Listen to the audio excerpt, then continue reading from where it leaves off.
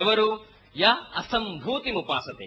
ఎవరైతే అసంభూతిని ఉపాసిస్తారో అసంభూతిని పూజిస్తారు అసంభూతి అంటే ఏమిటి? సృష్టించబడినవి. సృష్టించబడిన వస్తువులను అసంభూతి అంటారు.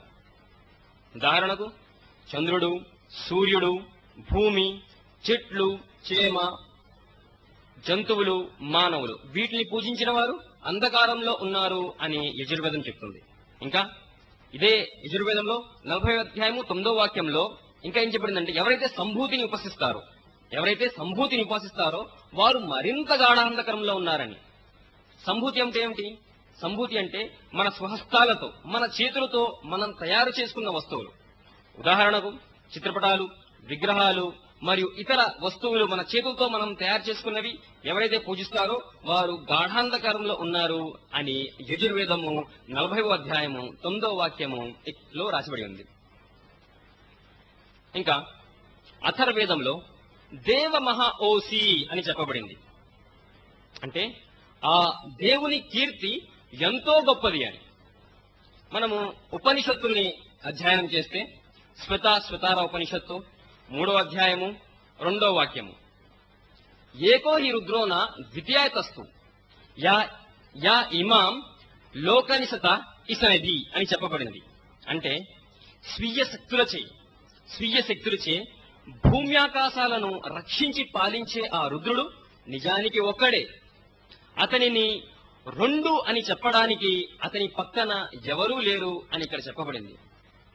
ఇంకా శ్వేత శ్వేతారామోపనిషత్తు మూడవ అధ్యాయము మూడవ వాక్యంలో భూమి జనయం దేవ ఏక అని చెప్పబడింది. అంటే ఈ భూమిని స్వర్గాలను సృష్టించిన ఆ దేవుడు నిజానికి ఒక్కడే.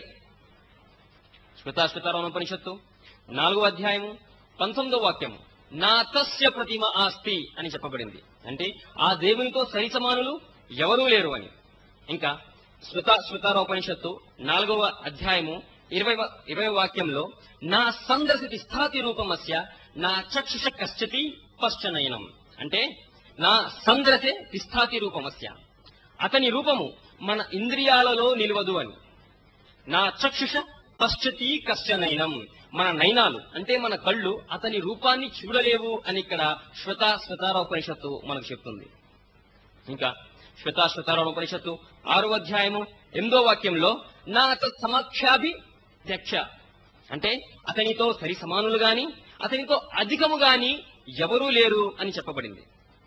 ఇంకా స్వతా స్వతారామ ఉపనిషత్తు ఆరో అధ్యాయము తొమ్మిదో వాక్యంలో నా చస్య కసి జనిత నా షరిప దీని అర్థము అతనికి జనుకుడు గాని లేక ప్రభువు గాని ఎవరూ లేరు. మనము చాందోగ్యోపనిషత్తు చదివితే ఆరో మండలము రెండవ సూక్తము ఒకటవ మంత్రంలో ఏమి చెప్పబడిందంటే ఏకం ఎవ ద్వితీయమని. ఆ దేవుడు ఒక్కడే అద్వితీయం ద్వితీయుడు కానివాడు. ద్వితీయం అంటే రెండు అద్వితీయం అంటే రెండు కానివాడు అని చెప్పబడింది.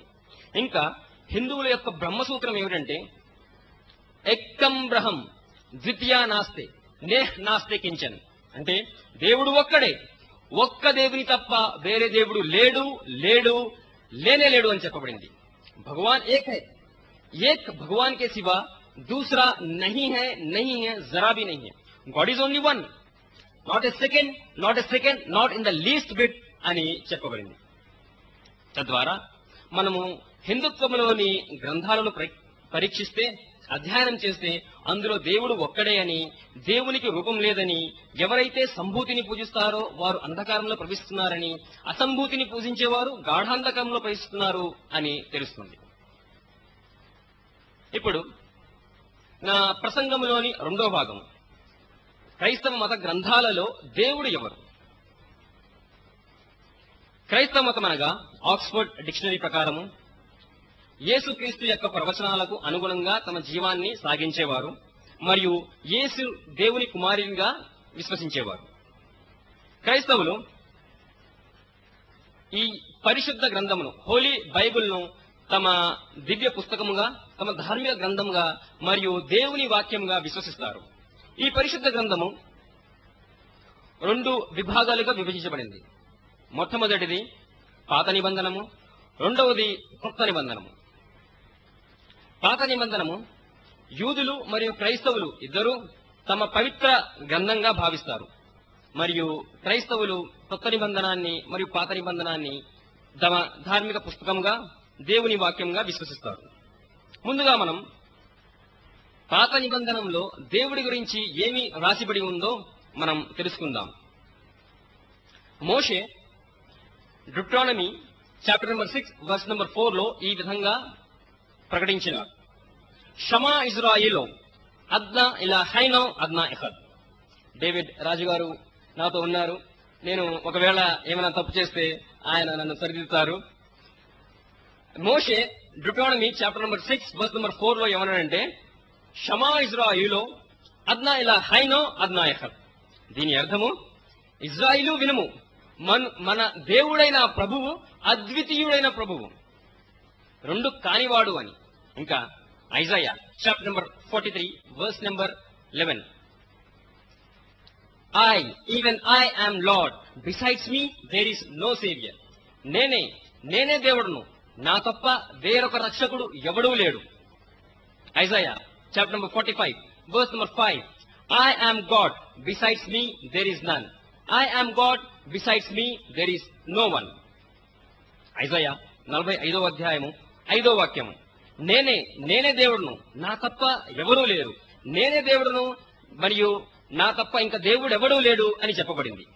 Isaiah chapter forty six verse number nine. It says I I am God besides me there is none I am God and there is none like me దీని అర్థము నేనే నేనే దేవుడును మరి దేవుడు ఎవడూ లేడు. నేనే దేవుడును మరియు నాతో సరి సమానమైన నా వంటి దేవుడు ఎవడూ లేడు అని చెప్పబడింది.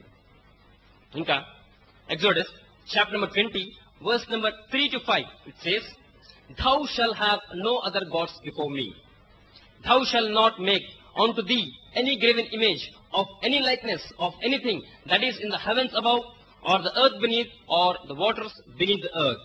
Thou shalt not bow down to them, nor serve them, because thy Lord your God is a jealous God. నిర్గమకాండము ఇరవయో అధ్యాయము మూడు నుండి ఐదో వాక్యం వరకు మనం చదివితే అందులో ఈ విధంగా చెప్పబడింది. Thou shalt have no other gods before me నీకు నా తప్ప వేరొక దేవుడు ఎవడు ఉండకూడదు.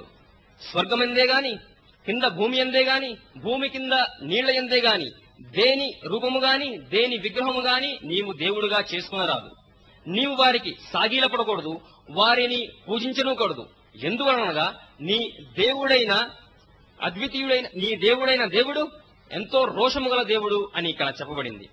తద్వారా మనము పాత నిబంధనాన్ని అధ్యయనం చేస్తే అందులో చాలా స్పష్టంగా దేవుడు ఒక్కడే అని మరియు దేవుడు లాంటి దేవుడు ఎవడూ లేడని దేవునితో సమానము ఎవరూ లేరని దేవుని విగ్రహము ఈ పైన స్వర్గంలో గాని కింద భూమి అందే గాని లేక భూమి కింద నీళ్ళ నీళ్ళతో సమానమైన విషయంతో దేవుని రూపం చెయ్యరాదని ఎంతో స్పష్టంగా తెలుపబడింది. ఇంకా మనము కొత్త నిబంధనలో దేవుడి గురించి అధ్యయనం చేసే ముందు నేను నా క్రైస్తవ సోదరి సోదరులకు ఒక విషయాన్ని చాలా స్పష్టం తెలియజేశాను. అదేమిటంటే ఒక ముస్లిం యొక్క విశ్వాసము క్రైస్తు తాలూకు ఏమిటి? యేసు తాలూకు ఒక ముస్లిం విశ్వాసం అంటే ఏమిటి? క్రైస్తవేతర మతాలలో ఒక ఇస్లాం మాత్రమే ఒక ఇస్లాం మాత్రమే తమ అనుచరులను యేసు నువ్వు విశ్వసించండి అని ఆజ్ఞాపిస్తుంది. ఒక ఇస్లాం మాత్రమే యేసుని విశ్వసించండి అని ముస్లింలను ఆదేశిస్తుంది. ముస్లింల విశ్వాసం ఏమిటంటే యేసు ఒక మహోన్నత ప్రవక్త అని. ముస్లింల విశ్వాసం ఏమిటంటే యేసు పురుష సంపర్కం లేకుండా ఒక అద్భుత జన్మ జన్మించాడు అని. ముస్లింల విశ్వాసం ఏమిటంటే యేసు దేవుడి ఆజ్ఞ ద్వారా పుట్టి గుడ్డివారిని మరియు కుష్ఠులను స్వస్థపరిచాడు అని. ఇంకా మేము ఏమి విశ్వసిస్తామంటే యేసు చనిపోయిన వారిని దేవుని ఆజ్ఞ ద్వారా మరలా బతికించను అని. ఇక్కడ ఒక ప్రశ్న ఉత్పన్నమవుతుంది అదేమిటంటే క్రైస్తవులు ముస్లింలు ఇద్దరూ యేసుని ప్రేమించినలా యేసుని కొనియాడిననా? మరియు యేసుని విశ్వసిస్తారు. మరి వీరిలో మతభేదం ఎక్కడా అని. వీరు మార్గాలు ఎక్కడ విడిచిపోతున్నారు అని. క్రైస్తవులు యేసు దేవుని అంశముగా దేవుని కుమారుడుగా విశ్వసిస్తారు. కానీ మనము కొత్త నిబంధనం చదివితే అందులో యేసు ఏమన్నాడంటే gospel of John chapter number fourteen verse number twenty eight my father is greater than I యోహాను సువార్త పద్నాలుగు అధ్యాయము